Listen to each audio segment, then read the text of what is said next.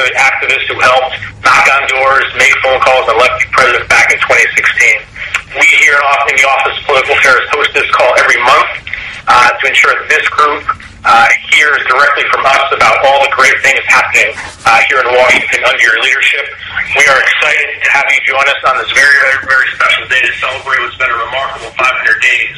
So without further delay, Mr. President, it's my honor to introduce you to the Well, Bill, thank you very much, and it's an honor to be with everybody. Uh, we are all other. It's 500 days. It went very quickly. I will say we're winning, and we're winning actually like never before. What's happened is, uh, and I just literally sat through an economic briefing and they say this is virtually the best time economically in the history of our country. The numbers are the best they've been, the job numbers and everything else. I mean, every uh, statistic. We've created about seven trillion dollars in wealth since the election, and you know, trillion is a lot of uh, that's a lot of money. That's not a, a term you hear very often, and especially when it comes to our country, which was really heading in the wrong direction.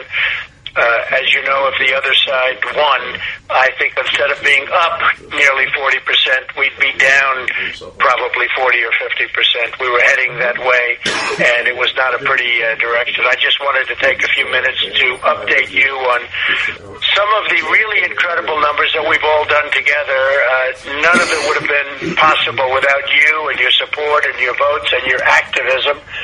And we're all united by uh, these values that are very special. And, you know, everybody came out and they voted for Trump, and people said, well, they won't vote because they hadn't voted in years.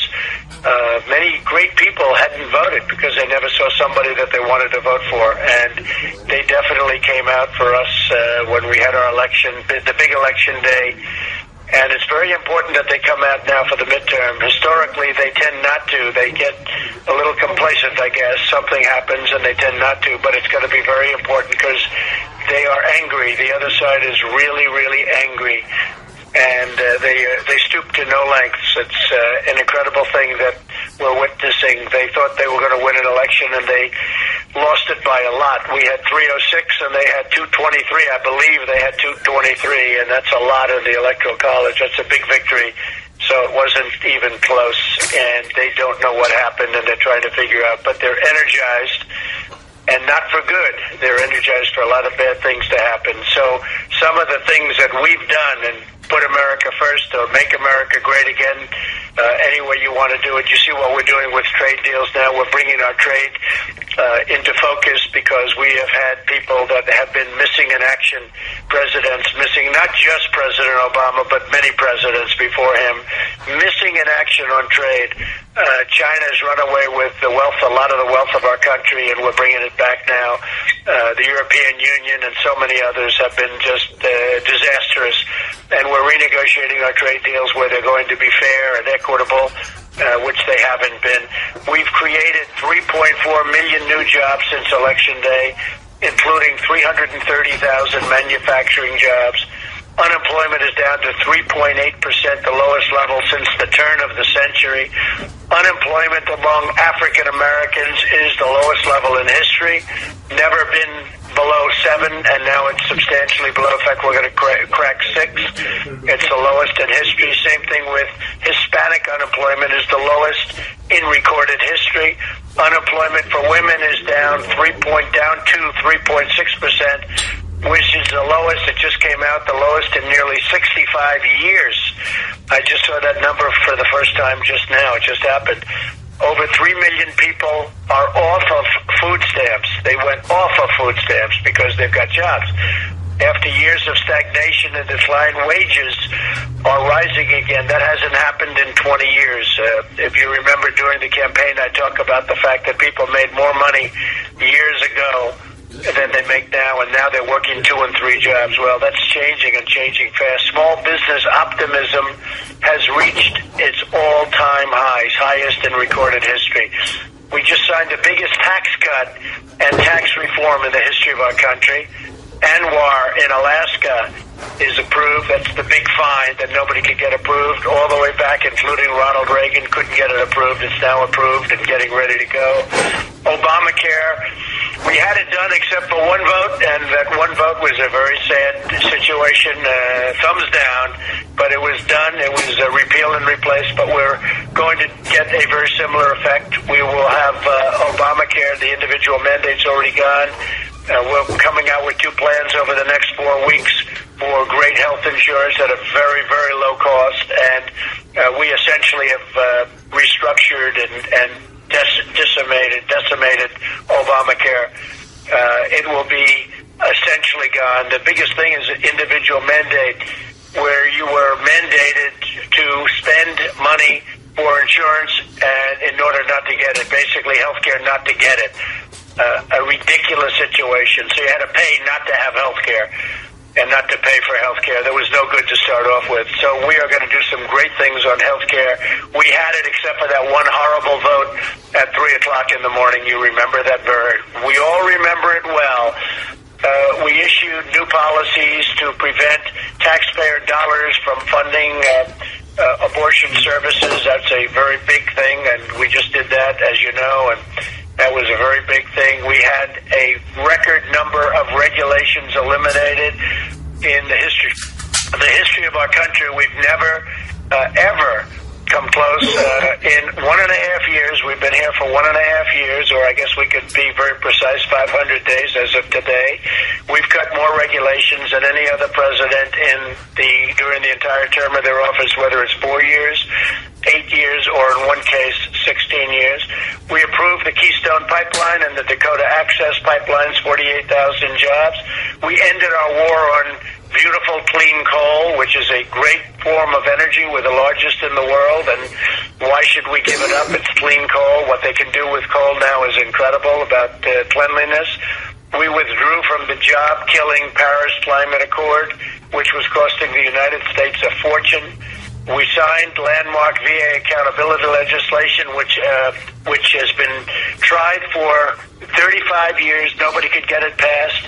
Uh, very, very difficult between civil service and the unions. We got it passed. Not only do we get it passed, uh, it's all done. And now, if somebody treats our veterans badly, or if they're stealing, or any other thing, we could never fire them. We could fire them on the spot, like the apprentice. We say you're fired.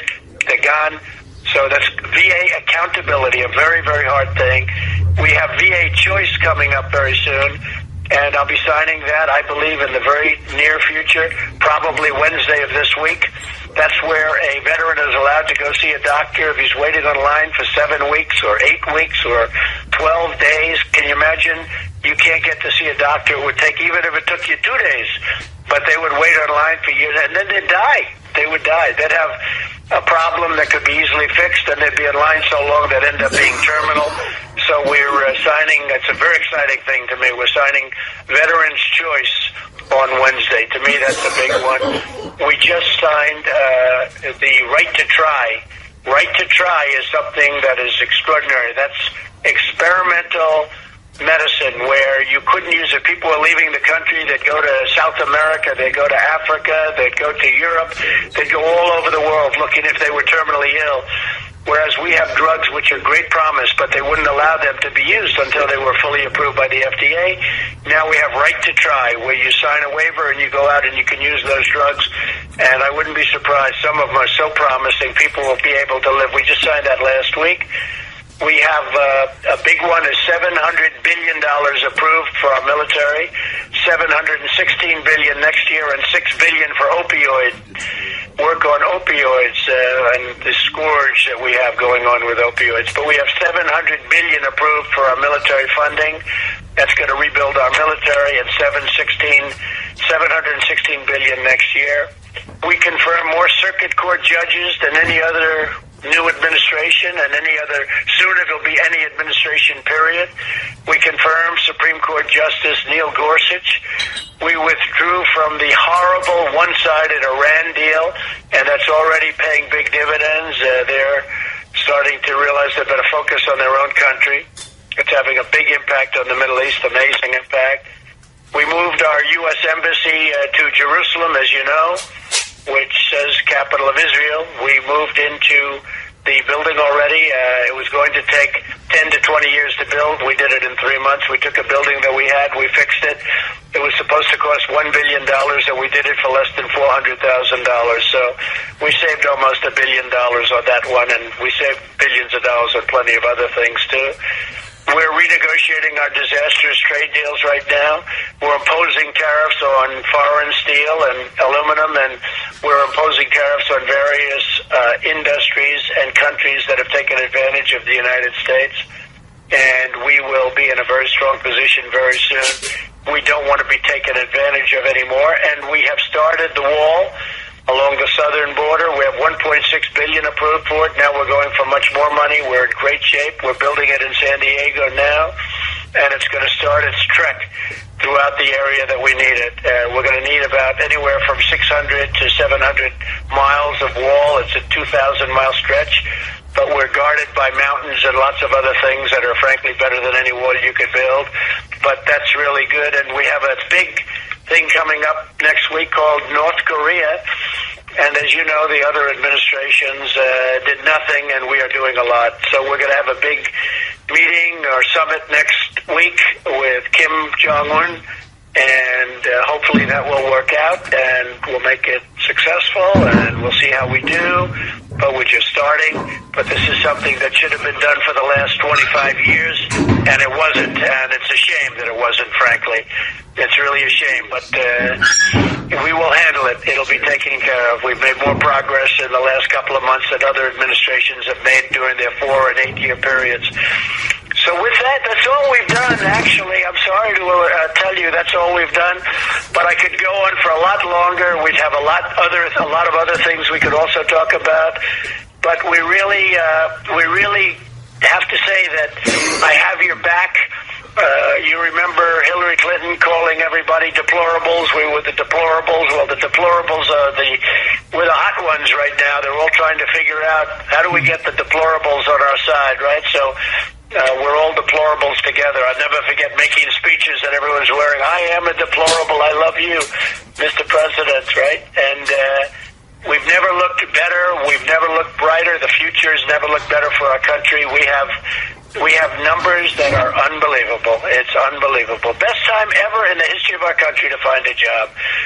So I just want to thank all of our people again. You know, we started this as Make America Great Again, and that's what we're doing. And we're doing it, I would say, faster than ever before. We've really done something very special. It's faster than ever before. One of the pundits said that Trump has actually made campaign promises, but he's actually done more than he promised. And he said that might be the only time I've ever seen a, polit- a politician who's done more than that politician promised. So you've been such a big factor, and all of the people on the call right now, I just want to thank you for being with us and uh, taking the time to listen to this today and my people have great respect for you. I have great respect for you, and uh, we've just started. So we've done a a real job, and uh, you know we we have a lot of people against us. We have that phony Russian witch hunt, which is uh, finally becoming discredited because that's what it is. It's a discredited disgrace.